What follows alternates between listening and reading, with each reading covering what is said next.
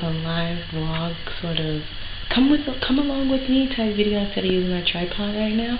Um, just trying to get a variety of videos until I really find out what my style is. But um, yeah, today I'm super excited because I'm going to the Santa Ana Zoo, and you soon will find out animals are the equivalent of what trees mean to me. Absolutely love, love, love animals. So I'm really excited to go. I can't wait to like go see all my little animal friends and play with them. And I wore one of my favorite outfits. It's like really bright and colorful, and it even has a pocket. So ladies, you know. And I wore my one of my favorite shoesies because it got Velcro and they're super comfy. I realized you couldn't see my shoes, but here are my little shoesies. My little Velcro shoesies.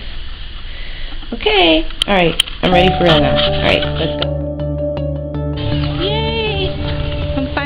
The zoo.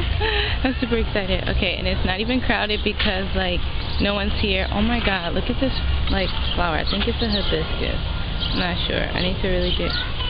Well, you can't really see the detail. I need to do better research so I can know about flowers more, but look.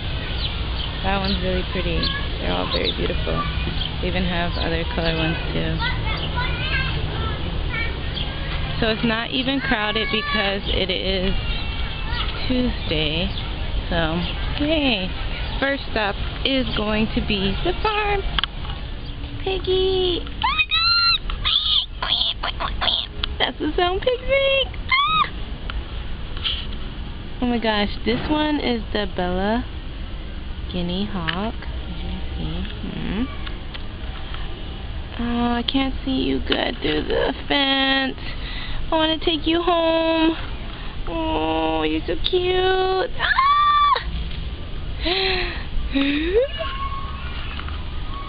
Piggy.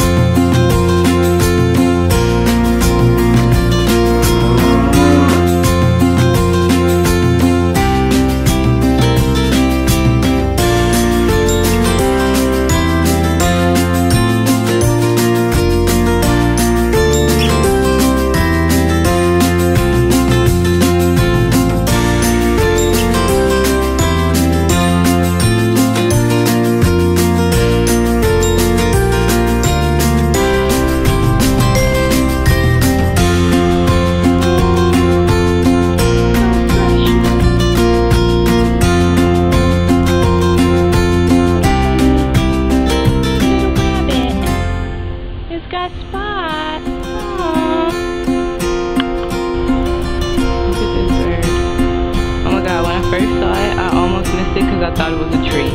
Like, oh my gosh.